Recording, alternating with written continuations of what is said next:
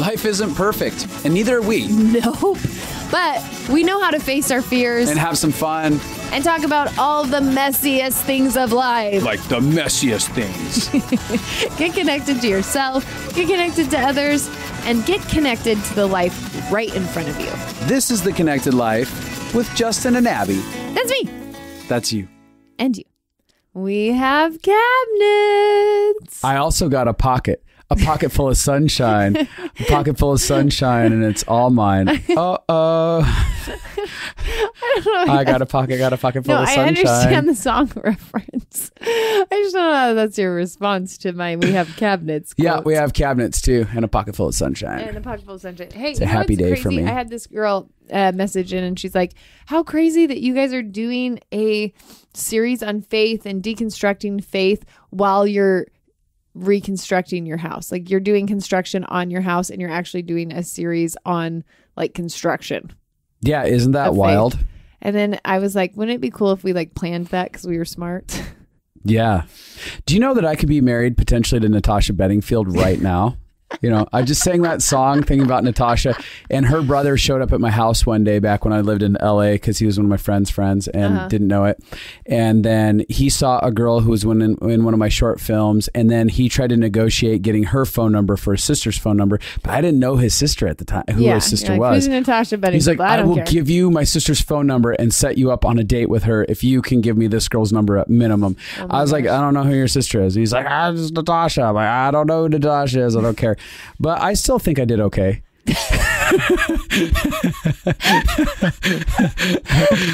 We're building the house together. oh, But I still did okay. Daniel was when I met him. He was in his underwear on my couch. hmm That's a good way to meet somebody. Yeah, I feel like lots of people could have a story like that with he was you. an interesting cat. Interesting cat. So we have a house. We have reconstructed. We are in the middle of reconstruction. I did pretty well for the most part in my marriage. Landed you. Everything seems to be going pretty solid for Justin. it was solid until this intro. yeah, Things uh-huh. are about to go downhill Can you imagine fast. though if I had taken that moment and then if I was married to Natasha? You know. Yeah, you, you'd have a podcast called Pocket Full of Sunshine. yes, I would. oh, she'd Uh, sing some. You'd probably enjoy her singing on the podcast. I would have her sing a pocket full of sunshine all the time. That's how I'd day. make her wake me up. She'd be my alarm. I got a pocket, got a pocket full of sunshine. Just slowly increase the volume.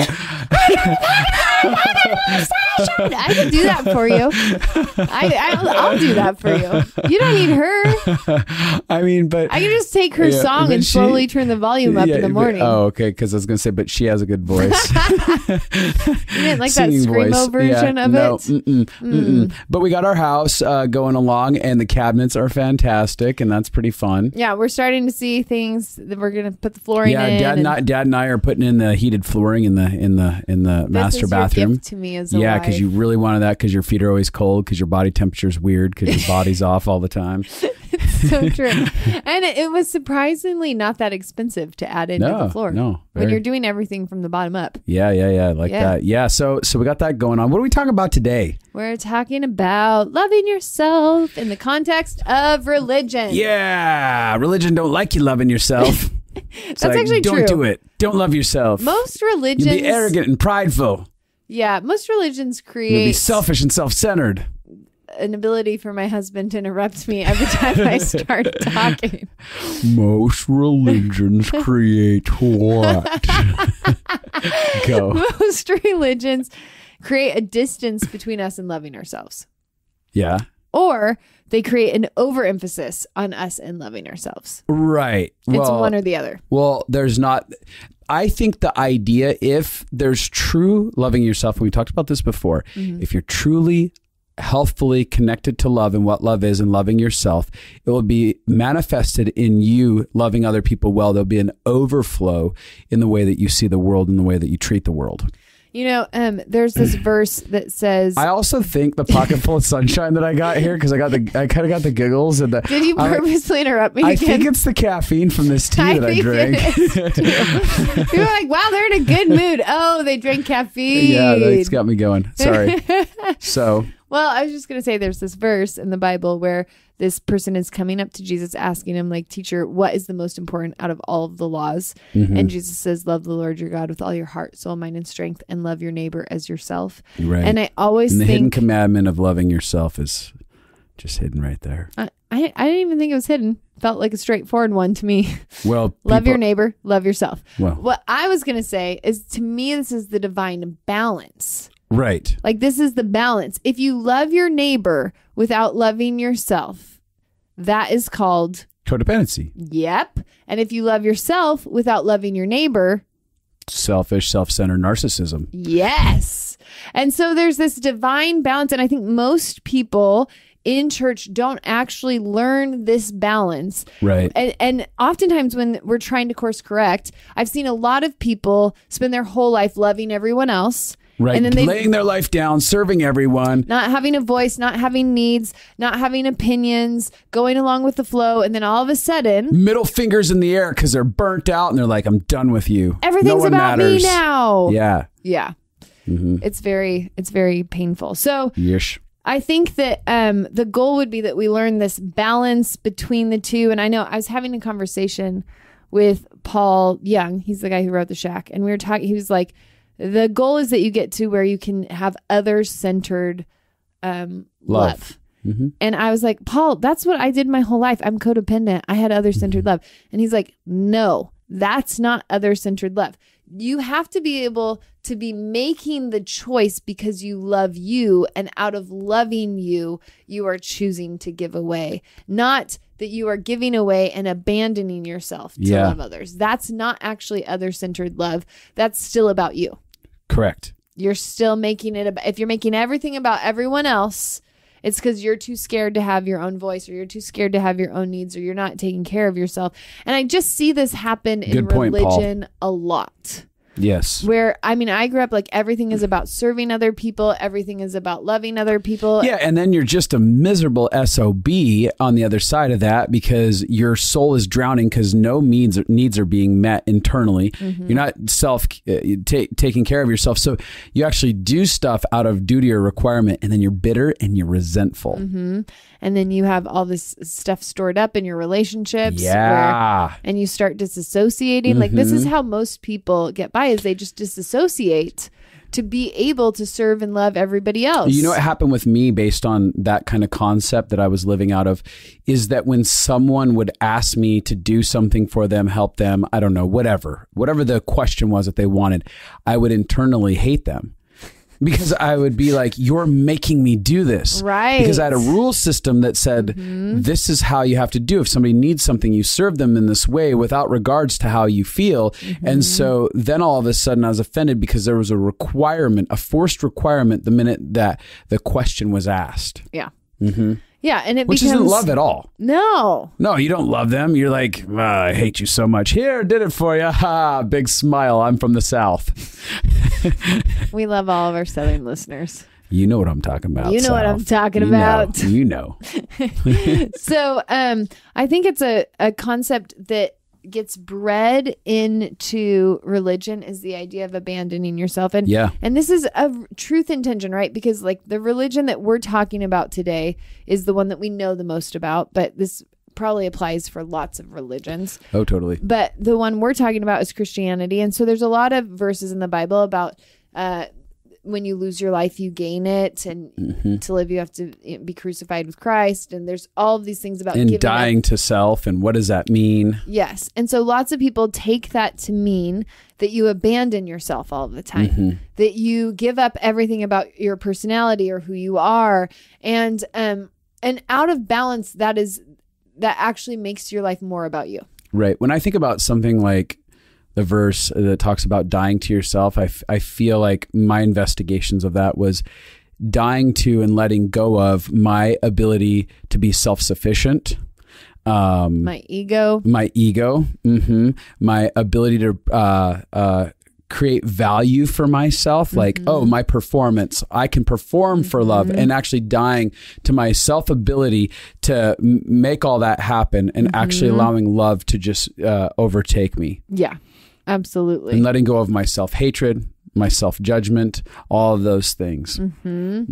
And I do think like one of the things that I think should be taught in every church is how to listen to sermons, how to listen to teachings. Um, one of the things I think is you have to know yourself enough to know your tendencies. Right. So here's what happens. Maybe they do a sermon on serving. Mhm. Right? Like the importance of giving up your life and seeing other people. And all of the people who are really good at taking care of everybody else is like, oh my gosh, I need to get better at this. Yep. I need to get so good at Yep. this. And they're like, this was the best message ever. I need to keep going. yeah. And then you have all the people who are not even aware that anything needs to be done for anyone else. And they still aren't aware that anything needs to be. They're like, oh, yeah, other people should really do that. Uh-huh. That's a great idea. And so when you know your tendency, it's kind of like if, um, here's a great example if they're preaching on generosity and your tendency is to be stingy, then you need to think, oh, this is something that will help me balance. This is a right. healthy Bring balance to my. But if they're teaching on generosity and you're an overly generous person, Right. You're already emptying out your bank account, uh, Yeah. giving it away, and can't pay your own bills, but taking care of everyone else. Then you that's the one not to listen to. This message to. is not for me. yes. My self awareness tells me that I am drowning in debt because I've handed all my money away. I mean, that was literally my mom. My mom would give and give and give and give and, was in so much debt. Mm-hmm. She was overly generous. And I had to go through seasons where I actually felt like I shouldn't give any money away because I was so good overly giving my money away and, and not saving and not doing any taking care of myself. And so part of it is when you are in religion, there needs to be a place where you actually learn to listen to what is it that I need to balance so that I don't become an extreme version of either of these because I think we abandon ourselves a lot when we're not listening for what what is it that we actually need. So somebody who apologizes all the time, let's say that they do a sermon on um, taking ownership and apologizing. The people who apologize all the time are going to go and they're going to take that and they're going to go apologize 10 times more. and they need to have some self awareness and be like, okay, I actually overly apologize. So I can listen to this message and I can see the validity and the goodness of it and not become overly. Which, by the way, you're talking about self awareness, which is something that we teach deeply on in Living Fully Alive, which we happen to be Oh. doing round two on justinabbey.com. You can sign up for that in the coming weeks. Yeah, So living fully alive out. really helps you learn how you operate and what's going on inside of you and how to understand yourself and the world around you. That's pretty smooth how I dropped that That there. was so Yeah. smooth. so keep going, abandoning yourself. Okay, so I'm just saying um, there needs to be a place where you actually are aware of yourself and can listen to a message and be inspired by it and also see how it applies to you. Yeah, that's something that I'm always doing is really looking at like what what do I need? What is that speaking to inside of my life? Where am I lacking? My goal is always balance, and we've talked about that in mm-hmm. previous podcasts in the past, but how how is all of this meant to bring a world of balance? People don't like balance. They like No. extremisms. Yep. So, but yeah, what's the invitation? What will bring me to balance? Yeah. There's some people that I'll say like you need to really rest and take some time off and take care of yourself. There's other people I'm like you need to get up off your ass and do something with your life because you are sitting in your parents' basement just Yes. squelching your life away, not doing anything to participate. Get up and do something and work an 80 hour week to learn how to work. but this is what I'm saying is that you can, if you listen to a, a sermon on rest, the person who's not doing anything is going to feel really validated by Right. it. And the person who's working really hard is going to be like, ah, that's for other people. totally. so the goal is to to listen to life for what it is that you actually need and what can and add to your world. Right. So I know you wanted to talk a little bit about codependency in regards to abandoning yourself. Yes. So abandoning our, ourselves is basically when we care more about taking care of other people or we care more about what other people think or feel their emotions that they're going through. We don't exist inside of that experience. Mm-hmm. Um, it's when we don't know what we feel we don't know what our voice is we don't know what our boundaries are we don't know what we want a lot of times abandoning yourself looks like running over yourself or not even knowing that you were running over yourself because you're not connected enough with yourself to know that Well, you what would it mean? like it Give, give me an example of what it would look like to run over yourself. Okay. Um, so I was talking to a friend the other day and she was um, having a date night with her husband, and her husband wanted to was like, "Hey, do you want to watch another show?" And it was like date night, so he was genuinely asking because he wanted to know if that was fun for her, and she was like, "Sure." And then she could feel herself getting frustrated as time went on, and um, later could recognize like, "Oh, actually, I didn't want to watch TV. I wanted to connect emotionally." Right. but I wasn't I, I wasn't aware of that. I didn't know to say that or I I was just trying to make him happy or there's a million reasons it could be why you would do it. It could be that you didn't even recognize that you had an opinion. Right. It could be that um you wanted to make the other person happy. It could be that you have a rule that you're not allowed to have an opinion. It could be that you don't want to be high maintenance. But that Oh yeah. that feeling of I'm just doing something that I don't want to do. I I recognize this in my own life a couple times. I had this conversation with one of my really good friends and they talked for the whole conversation Uh huh. and at the end of the conversation I could feel that I was angry. Right. I was like I'm so frustrated. But I thought it's not your job. Like I mean it's nice when people ask you questions. Totally. But it's not their job to make me. And I was like, I abandoned me by listening that whole time because I could have jumped in and said blah blah blah blah blah and blah. blah. interrupted and been like, "Hey, I want to share a few things." Yeah. Mm-hmm.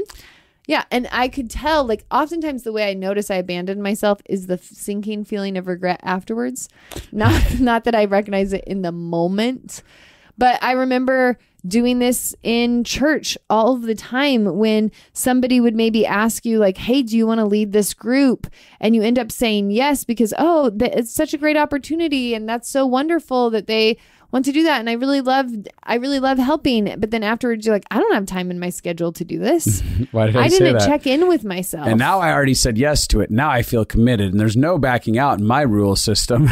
yeah. Or there's abandoning yourself, like when everybody in the group is, let's say, everybody's judging. Uh, I remember being in conversations where everyone is judging a type of person, right. and you're in the group, and sometimes abandoning yourself can look like just not not saying like, "Hey, this doesn't feel good. right. I don't like. I don't like how this is going. I don't like participating in this. Could we change the subject?" Right.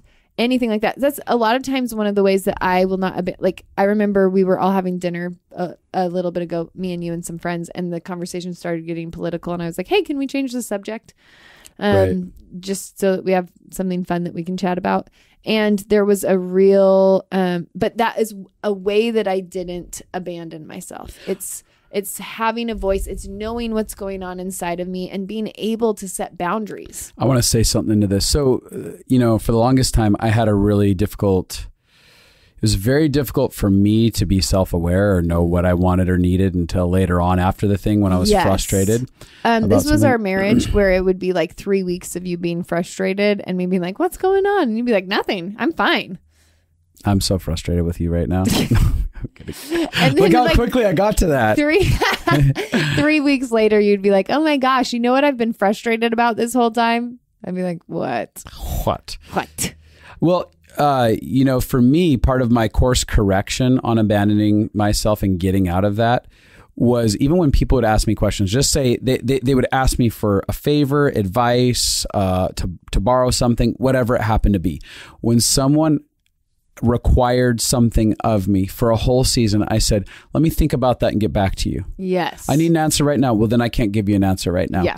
Even if it was like, say, this wasn't a scenario, but if it was like I walked into a car dealership and they're like, well, do you want to buy this car today? You should buy this car today. And I didn't know, I'd be like, I need to, I need to get back to you later. Well, you can't leave the lot without that. You're, you we're going to sell it if you don't. Okay, then sell it. totally. I will not come to a conclusion on something until I've had time to get uh, uh, time enough to become aware internally, Mm-hmm. so I know how to respond to this. Yes. And so, me creating delays deliberately, whether that was one minute later I responded, or I came back five days later and says, "Hey, you know that that uh, you needed to borrow my truck. I don't want you borrowing my truck.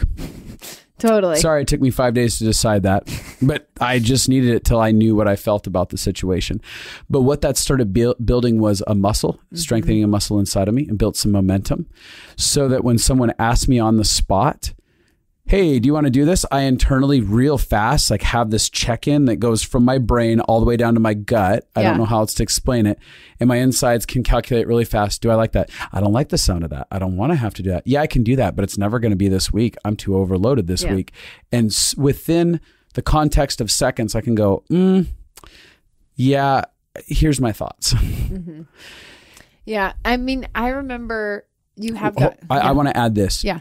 That felt tormenting to me. What did? having to having to go through that process Oh, because I felt like I was failing people Mm-hmm. because I had so lived in this mindset of loving people well and I had to readjust what love was right in order for me to do this because uh, most human beings want to be good Yeah. they want to be loving yeah. they want to care Totally. Like, we actually have some really pure intentions and so for me my definition of love is I give you what you want so that you feel good about yourself and your life and that you're helped and whatever Mm-hmm. yeah.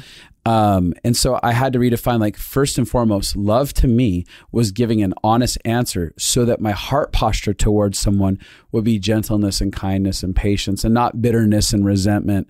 Yeah. And also when I violated myself and said yes to something and got myself into something that I realized I shouldn't have been, instead of getting angry at them, I started taking ownership. So I, I started turning it back towards myself, not in an aggressive, mean way, but I started saying, Justin, you're in this circumstance because you didn't pause long enough. You didn't you didn't stop to listen. You didn't stop to investigate. I'm not blaming them. hmm I'm just taking healthy ownership. And it wasn't shaming myself. I would just say, hey, this is what I did. This is why I'm here. I need to course correct this. And self compassion, like it makes sense. You learned how to do this. Uh, Mm-hmm. you know, in your childhood, you learned to abandon yourself. Totally. You learned mom's needs and dad's needs matter more. They're going to be needs. unhappy. Church's needs are going to be unhappy if I don't do what they need. I'm going to be punished. And so a lot of us have learned to not even know what we're feeling or what's going on because our we're built to make the people around us happy. Yeah. We're And- conditioned. We're conditioned. Yeah, we're not built that way. Thank you for saying. You sometimes you're so good at helping me recommunicate. Yeah. I appreciate that. You're welcome. We're we're conditioned to start making people happy and that happens a lot in the church because so much is love people. And love is such a foofy term right. to so many people and lots of Christians like love is be perfect, be nice all the time, be Mm-hmm. kind all the time. And part of love is being honest and Right. being connected to yourself. If you tell me I can use your truck, but you secretly resent me for it, that's not loving. No. You're tr- that's people pleasing. Yep. That's fake. And and if you end up having walls up towards me Right. because of that, I'll never know. That's not real love. That's not inviting intimacy Totally. and connection. Because what you you talked about the idea of building walls. So if Abi always want, uh, I use my truck as an example because that's been something historically people always try to use from from me, Yeah. and I had no boundaries with it in the past. But if you came to me and kept asking for my truck, and I kept saying yes, and I'm not actually managing myself internally.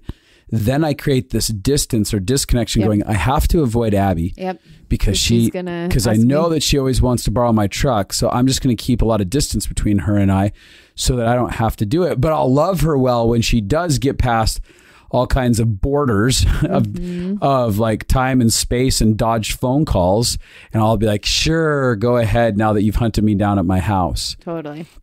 So that's not genuine love. Yeah. And um, I think that there's this place, one of the other ways that church has created codependency is this fakeness, this world where you have to always look good or you have to always be right. God bless you, brother. God bless you, sister. yeah. I was going to go even a step farther of like, I know a ton of people that are like, I have to get my family saved. I have to get Oh, my friends yeah. saved. I have to, which, first of all, if you're trying to get somebody to change, Yes. to choose a different choice, you're trying to control them. Yes. And I believe theologically, and God oftentimes created trying free to will. manipulate them. Yes, we're trying You're- to manipulate. Them. I'm going to perform in a certain behavior and way and not be authentic and honest so that you will decide to buy in to the thing that I'm trying to sell you. Ha, got you. I manipulated the shit out of you. Ah, look at you. You got saved. Totally. Eat it. Totally. I know, like I have a, I have so many friends who like have never been vulnerable with their family about the struggles that they go through, about the hard things. Things. They're not, they're acting. They're trying to act superhuman because they want to represent God well. Uh-huh. And there and there's been a lie for a long time. Like if you follow God, your life should be great. And and that we're trying to be salesmen for God. Uh-huh. and so I need my life to look great so that you will want God too. What if the greatest sales pitch for God was an authentic lifestyle? Yeah. Like, hey, we're so effing messy over here and we're loved and we're chosen. And hey, let's just go be humans together and, Yeah. and, and, and choose to partner with each other, yeah. move towards freedom. And it's, we're just honest here in this space. Oh, absolutely. Yeah. It'd be amazing. Yeah. Probably a lot more people in droves would come to that type of experience. Yeah. But that's what I'm saying. That codependent idea of it, the way that I, my job for God is to be fake for you Uh huh. to see him better. Uh huh. And I, and churches preach this all the time. You represent him. You need to to represent him well. And I mean, I love. Here's the thing. There's not even. That's not even bad. Like, yeah, please don't go around like slapping strangers. That's not a good representation. you know, like there is there is. It is good to be reminded. Like, hey, your actions matter. That is true. I want to be reminded that my actions. I would like not like to not live a lifestyle of being a hypocrite. Yes. right? Absolutely. Like I, I would like to actually have a value system that says if I have if I if my value system is a, a God of unconditional love, I would like to be moving towards that instead of like. Mm-hmm. Yeah, I'm wearing this label on me of, you know, follower of Jesus, and I'm purposely just being an ass and never looking at my life. Yeah. So I mean, I think it's valuable, but the idea is if you're not being real, if you're not being vulnerable, if you're not being connected to yourself, because the rules in your head mean that you can't be. Right. Or like even I know that there's rules in our head that we get to, and this is and we we teach in depth or more in depth in this in living fully live about the rules in our head and how we abandon ourselves for them. But if the rules in your head say that you always have to be put together, then you'll abandon yourself to look put together. You'll abandon the moment where you're actually feeling weak and need love, and you won't actually have a voice and you won't actually ask for help, and you won't let somebody come over. Like one of the, this is a funny thing, but one of my friends that they grew up in a family where their house had to always be clean when people came over. So they would resent people from church stopping by at their house because their house wasn't always clean. right. And so the th- there was two different ways they were abandoning themselves. One was I'm only lovable if my house is clean, Right. which means I abandon myself if it's not. Right. And then the other one, which is I don't know how to have a voice with people and tell them my preference. Right. Of So- when to come over. And so now I just avoid people and I get secretly frustrated every time they come. Yeah. But this is what I'm saying church culture can perpetuate this nicety culture Right. That is really mean where you never know where you actually stand with people and you Oh never know when somebody's Everybody's a out. bullshitter. I see you over there lying, putting on that fake face. Yeah. Uh-huh. And there's a lot of self abandonment. Here's something I've learned. Okay, you have to disassociate if you're not living vulnerably. Yeah. Okay. The way to get out of being disassociated is to be vulnerable.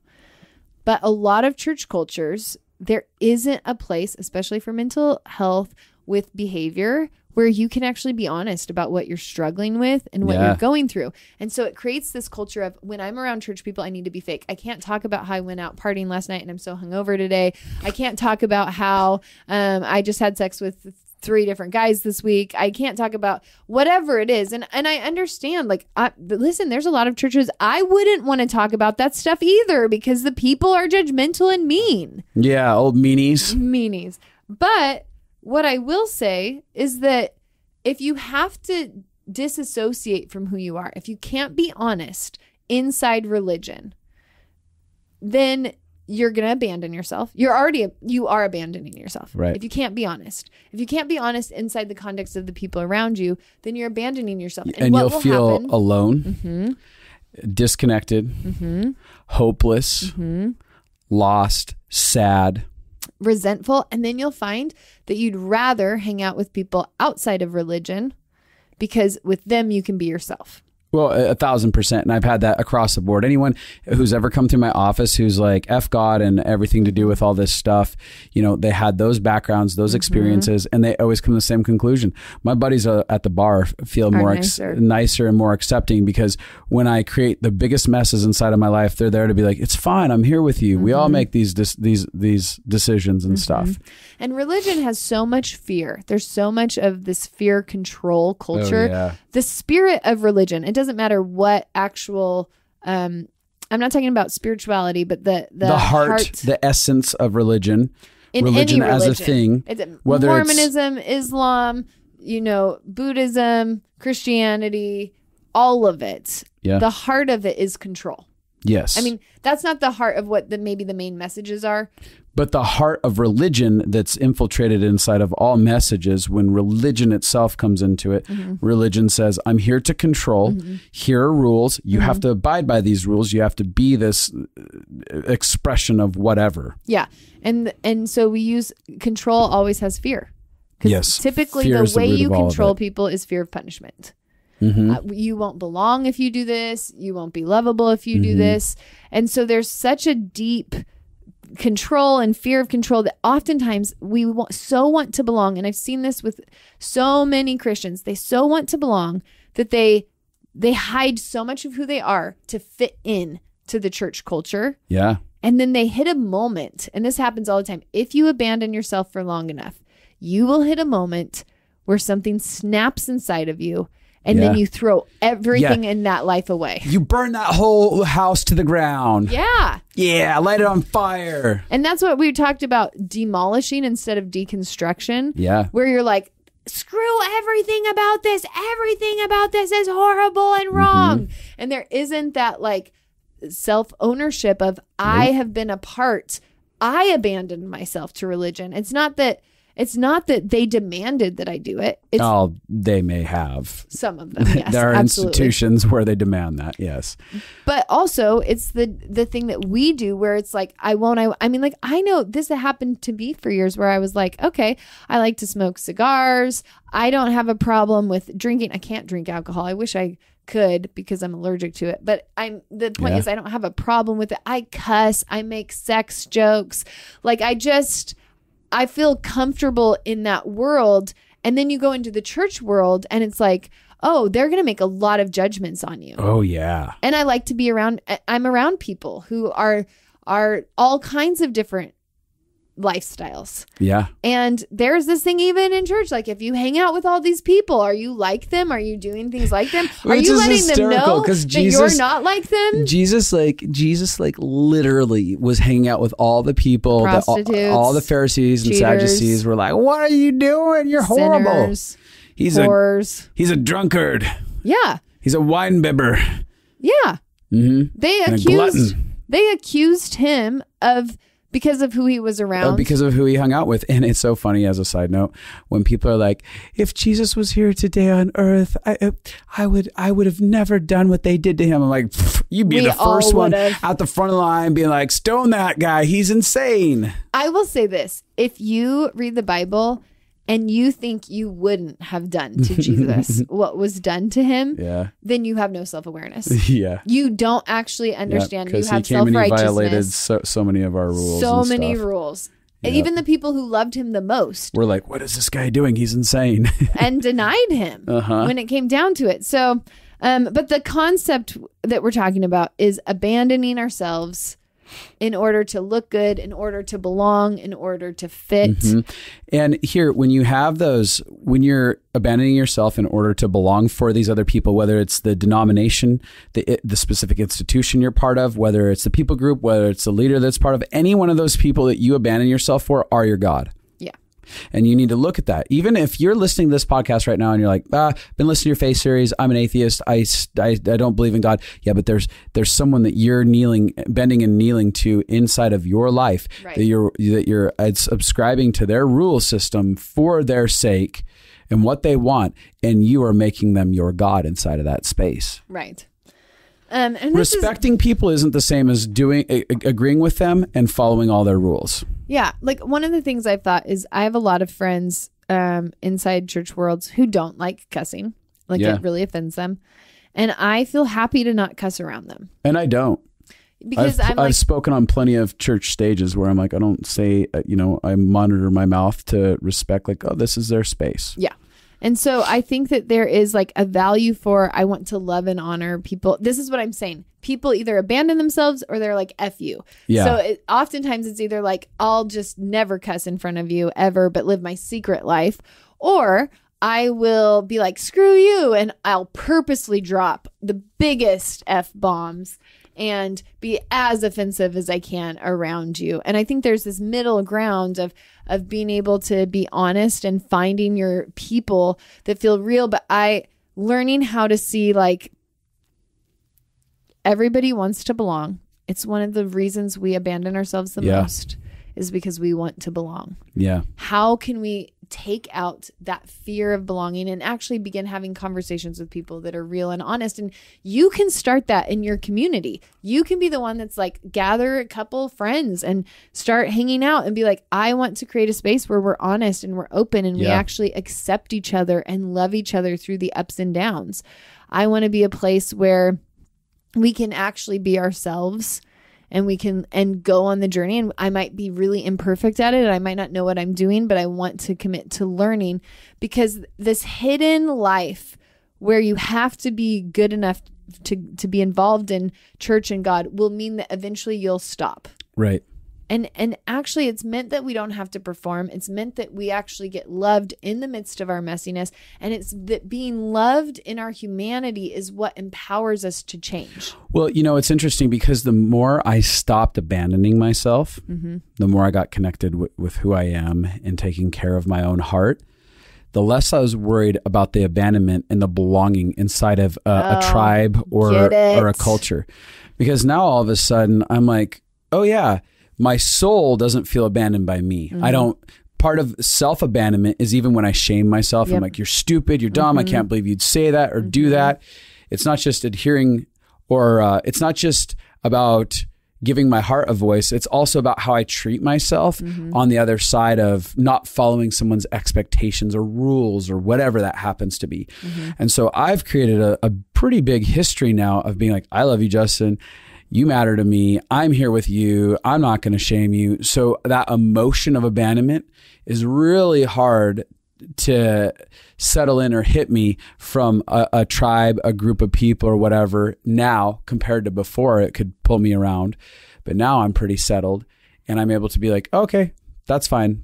That tribe or that group of people doesn't agree with me. Yeah, it's it, I feel less lonely the less I abandon myself. I feel Thousand less of percent. a need for external validation Right. when I'm having I'm internally on my own team. And Yeah. if this that feels if this whole thing feels overwhelming, you're like, I don't know how to connect to myself. I don't know how to connect to my heart. I don't know what's going on inside of me. I don't know how to have needs. I don't know uh, what rules I'm even following or not. That'd be a great reason to sign up for Living Fully Alive oh, 2.0 2021. You're hysterical. How many times can we plug it this Yeah. time? Yeah. So um I think that that church, like any club, we want to belong. Yeah. And and I don't want to I'm not pooping on the church by having this conversation. I'm shitting on it. No, I'm just kidding. I'm totally kidding. the entire not institution. And I don't like when you call it the church. Yeah, I yeah, like, you I like like it to call it institution because the church is the people. Yeah, Yeah. yeah, You're having a conversation about an institution and tribalism. Yeah. Well, what I was saying now, I don't remember what I was. Oh, it's really it is the institution because it could be the political. Like if you're in, if you're a Democrat, you can abandon yourself when there's things you disagree with them on, right? And you're like, oh, I actually don't agree with them on this, but I'm not allowed to disagree on these things. Uh-huh. So now I just have to shut this whole part of me down. Yeah. And then you can abandon yourself there. Same with if you're a Republican. Same if any system Right. that you're around it could be your work environment. Oh, at work if one. i don't drink all the time Yeah. they're not going to think i'm a fun frat boy. Oh then i have to abandon what feels normal to me in order to get people to like me which is codependency. And we just so this happens everywhere. So don't just get angry at churches because Right. it's a it's a belonging issue and this happens Yep. in every culture And it can happen in a small school, group of school, friends. small group of friends it's Mhm. I've had that happen before where I was in a group of friends and the culture of the friend group was one direction and learning how to stand up and be like, "Hey, actually I don't I don't want to talk bad about these people." Or, "Hey, actually we've already complained about our jobs for an hour this week. Let's try something Yeah. else." hmm Absolutely. Yeah. I know that you were talking about people with regards to their family. Do you have like kind of anybody's any family stories or person stories or anything like that that you might help elaborate? People in regards to their family. Yeah.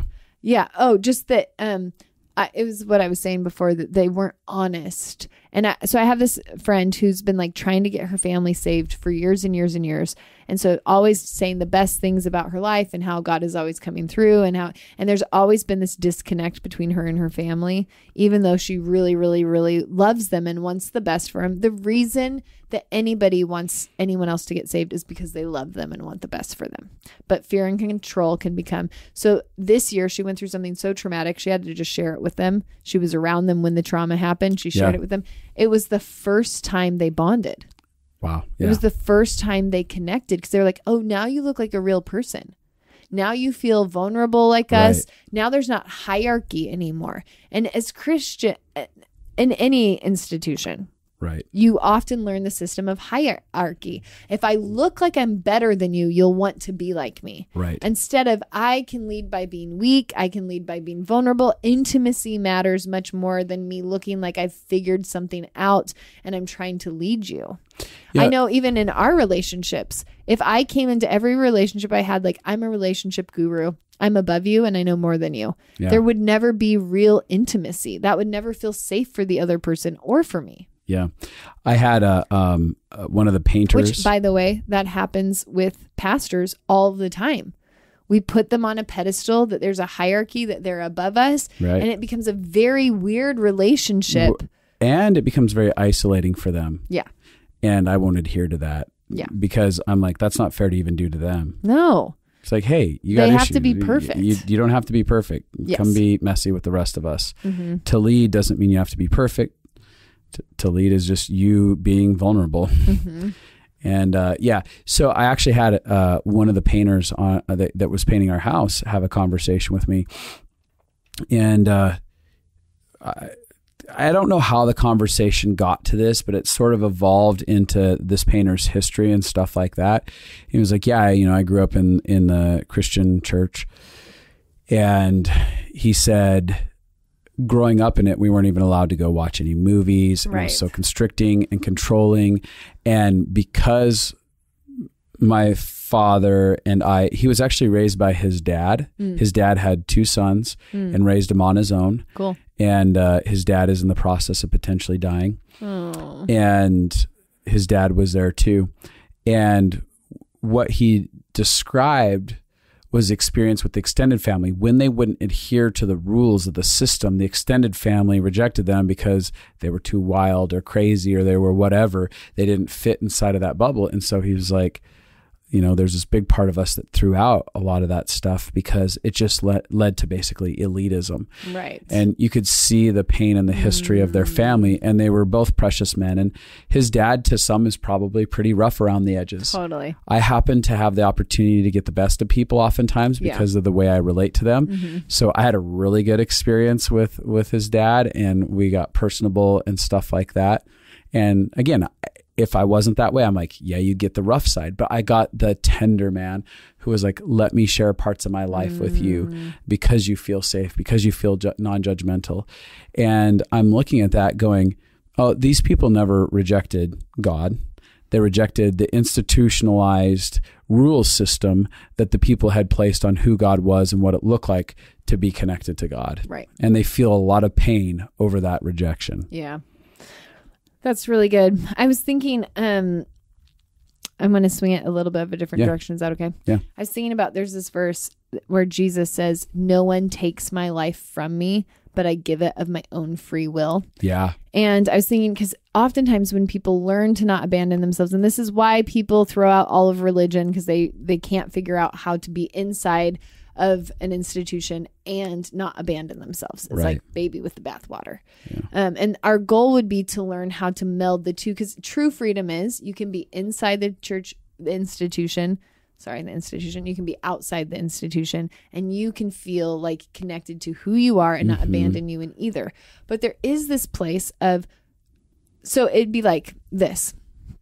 Let's say I'm talking to a friend and they really need to talk. And I'm like, okay, I have the choice to speak up and share about my life. Or not because I'm scared of them not liking me or whatever. I can choose of my own free will to love them by this time just being about them. Right. But that won't become a pattern and that won't become like a forever. But like I can choose to lay down. It's kind of the same thing of like I accept that I cuss and I feel comfortable with my lifestyle choices. And I can choose around people to to give my life up to honor them and it's different choosing that out of I'm powerfully choosing this. I'm Right. making a powerful decision I'm making I'm choosing to meet you where you're at. instead of I'm abandoning me to make you happy with me. Right. So the thing is is I can do the same action From a different heart posture. from two different heart postures. And this is where people get confused and then once they learn not to abandon themselves, they never serve again. They never lay down their life. They they do become narcissistic a-holes. totally. And I have found that like in our own marriage, there's been places where I used to fawn. I would just do whatever would make you happy so that you'd be happy. right. And then there's and then I've grown in learning I like- miss that, Abi. she didn't last very long. no. And so then there is the the other side of it of now like okay, I don't want to do this thing, but I like last night you wanted me to go get you a glass of water. I was like I don't want to do that. I want to stay in bed. Right. But I don't feel like I have to do it because I've learned I don't have to abandon myself. I've learned Right. that I can say no. And so I actually want to choose this. Not because Right. I feel bullied, not because I feel like you'll be frustrated if I don't, not because I feel like love will get stolen from me, Right. but I actually feel like I want to make the choice to love you. Right. And that's where that's where true healthy sacrifice comes in is because Mm-hmm. it's not a forced thing, it's a deliberate action. It's like Jesus. Jesus' sacrifice Mm-hmm. was one of those of like, "Oh, I don't have to do this. Nobody takes this from me. Mm-hmm. I'm sitting here deliberately giving the sacrifice of my life away and allowing you to apprehend me and allowing myself to go through this terrible, painful process because I love you so much that I want to." Yeah. And that's so that's what Paul Young is saying. Other centered love is. Mm-hmm. And this is the goal that we become like Jesus, who could give other centered love. And Jesus had so many boundaries. He went away by himself. He had boundaries on which people came with him to which things. Sometimes he brought three, sometimes he brought 12, sometimes he brought 70. Like he he would go and do what he wanted to do when he wanted to do it. He'd say, I don't want to go here. I do want to go here. And then there were times when, like, he, there's this one time where he pulled away to get alone time and this crowd followed him. And he was moved with compassion and went and healed all the sick and did good Right. among the people. And so there was this thing of he knew he could separate and have boundaries.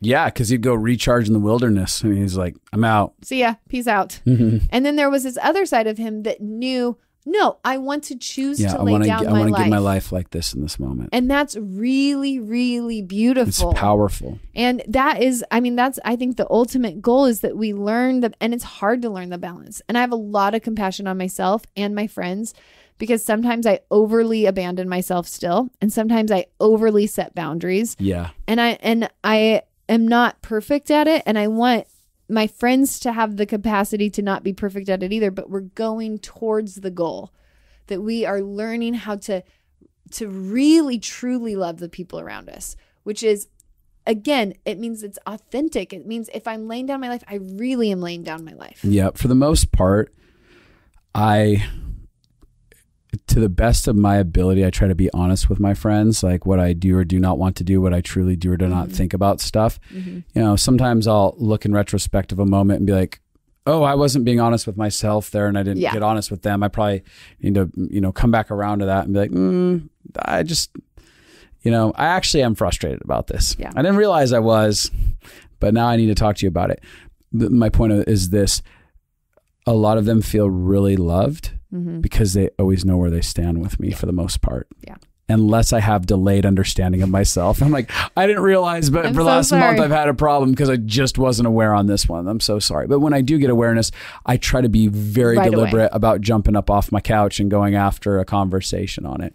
One of the th- oh, did you have something? Well, I was going to say, and that again, that's why they they feel loved, Mm-hmm. They feel safe. they feel safe, They know where they stand. they know where they stand. And you know, some people in the past would be like, "Oh, it felt scary or abrasive," in the, initially, but then the idea that someone would be that honest about things, yeah. but now it just feels good because I'm not in constant um, f- fight or flight, hyper awareness, trying to figure out what's inside of your head, like I have to do with other people. Yeah. Yeah. I think that um I had something really profound to say. Probably. Oh, not. something that I think that would be really valuable is um, rules are often subconscious. Like oftentimes, tr- uh, institutions. I'm going to learn how to use words are actually helpful to use in the right way. So Yeah. I agree with you. Institutions oftentimes have subconscious rules that you're not aware of. Friendship groups often have subconscious rules that you're not aware of. They're not saying to belong to our friendship group, you have to gossip. You know, they're not saying to belong to our church, you have to be here four times a week or and serving or, or you, you have to be on the front row every Sunday. Or if you miss a week then we think that you are dancing with the devil. Um but the idea is like there's always i think even in in the culture that i currently am in there's such a subconscious anything that's celebrated rules get made around. So there's such a celebration of instantaneous breakthrough in the culture that we live in which can make by accident a culture that if you don't have spontaneous breakthrough or instantaneous breakthrough then it's then that's not as good. That's not as valuable. And i don't feel like i don't i don't fault them. I'm like it's i don't know how you can think through all the things celebrate this but also celebrate this and celebrate this but also celebrate this. Like it, mm-hmm. it's maddening to try to create a, a place where there's no rules. There'd be no way to do it even on your if i if i have a culture that celebrates love and acceptance then people glorify love and acceptance and they find a rule around that. I've mm-hmm. seen that happen in our LFA groups before where there's this one person that used to make me laugh all the time because they would message me. So in in Living Fully Alive, we have a Facebook group and pe- the reason people love doing it is the community aspect. You're getting to go on this journey with other people and it's this amazing connection process. So they would message me all the time being like this person said this thing and they wanted me to chastise this person who said something that they thought was a little bit too judgmental or wasn't loving enough or wasn't compassionate enough and they wanted me to judge them for their judgmentalness and so it it- like even then i'm like i didn't create i wasn't creating a rule that everybody has to be compassionate all the time i want people to be free Yeah. i i, I Be messy. I want people to be empowered. I I like the culture of compassion much more than judgment, but um but they created their own rule system out of our culture. So Right. I don't want to demonize institutions. Right.